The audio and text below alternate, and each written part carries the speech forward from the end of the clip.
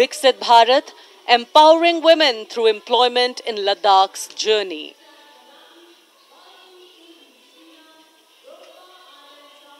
The Indian women ice hockey team, exclusively composed of Ladakhi players, symbolizes this journey of empowerment.